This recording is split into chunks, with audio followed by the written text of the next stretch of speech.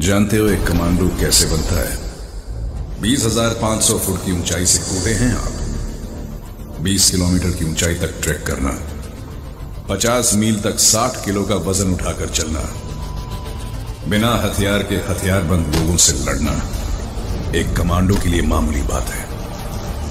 दस हज़ार लोगों में से सिर्फ़ एक कमांडो बनता है।